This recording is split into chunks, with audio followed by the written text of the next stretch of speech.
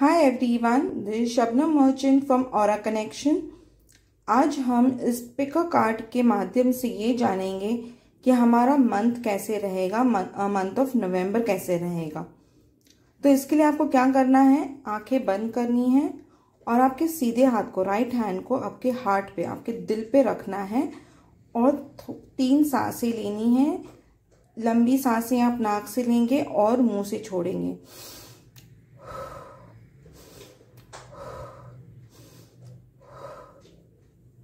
और आप एक छोटा सा प्रेयर बोलेंगे dear God goddess archangels angels guardian angels my spirit guides and my spirit animal guides and Saint Jude please convey your message how will be the month of November for me thank you thank you thank you अब आप चाहे तो ये video को pause कर सकते हैं।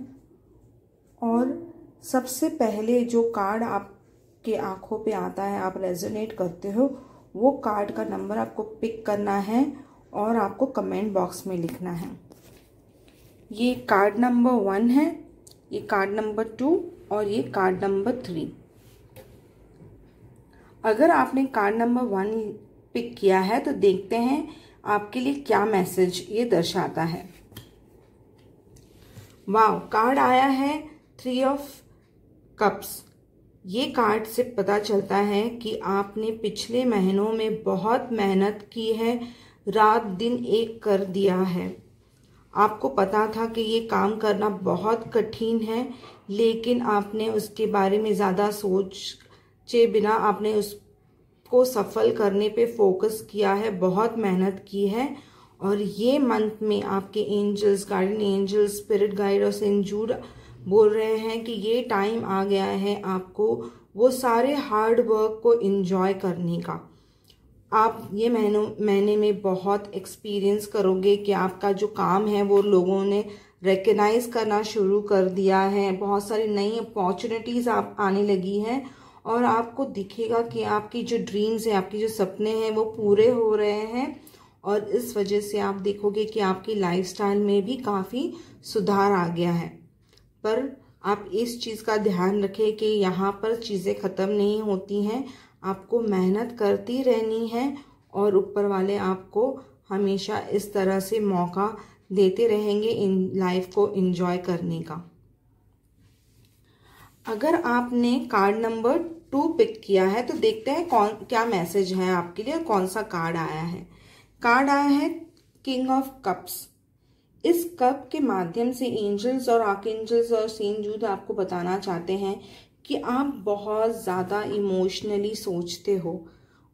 आपको इस दौर महीने में आपकी थॉट और आपके इमोशंस पे बहुत ज़्यादा काबू रखना है बैलेंस रखना है। ना ज़्यादा सोचना है, ना ज़्यादा भावुक होना है। आप बहुत इंटेलिजेंट हो स्मार्ट हो। अब वही टाइम पर आप बहुत ज़्यादा इमोशनल भी हो, ये बार बार मैसेज आ रहा है कि आपको आपके इमोशंस और आपके थॉट्स पे बहुत ज़्यादा बैलेंस रखना है, एक बैलेंस रिलेशनशिप रखना है आपके हार्ट और आपके दिमाग पर। और साथ ही में आप आपको बहुत ज़्यादा मेच्योरिटी से हर सिचुएशन को हैंडल करना है। और आप जब ये मेच्योरिटी से सिचुएशंस को हैंडल करोगे तो आप देखोगे कि आपके इर्द गिर्द जो नेगेटिविटी है, उसको भी आप बहुत स्मार्टली और अच्छी तरह से हैंडल कर पाओगे और उसके वजह से आपके घर में बहुत शांति और हारमोनी बनी हुई रहेगी। अब बढ़ते हैं कार्ड नंबर थ्री की और अगर आपने कार्ड नंबर थ्री पिक किया है तो कार्ड आया है द हेरफिंट ये कार्ड्स के माध्यम से ये एंजल्स बताना चाहते हैं कि आप बहुत ज़्यादा पढ़ाई पर ध्यान देते हो, आपको बहुत नॉलेज और आप कोई चीज़ करना चाहते हो तो उसमें मास्टरी पा सकते हो। लेकिन ये टाइम नहीं है कि ये सोचने का कि मैंने बहुत ज़्यादा पढ़ लिया है। अब बस आपको और पढ़ने की ज़रूरत है, आपको डिटेलिंग में जाने की ज़रूरत है, आपको रिसर्च करने की ज़रूरत है। कोई चीज़ को आपको आधा अधूरा नहीं छोड़ना है, आपको और मेहनत करनी है आपकी नॉलेज के ऊपर, आपके फोकस के ऊपर। तो आप नॉलेज पे और फोकस पे आप ध्यान दीजिए और देखिए कैसे आपने जो जो प्लान किया है वो सारा इन प्लेस आता जाएगा। इस मंथ में बहुत से लोगों का बर्थडे होता है तो मेरी तरफ़ से सभी को बर्थडे की बहुत बहुत शुभकामनाएँ। जुड़े रहें, बने रहें, देखते रहें। Good bye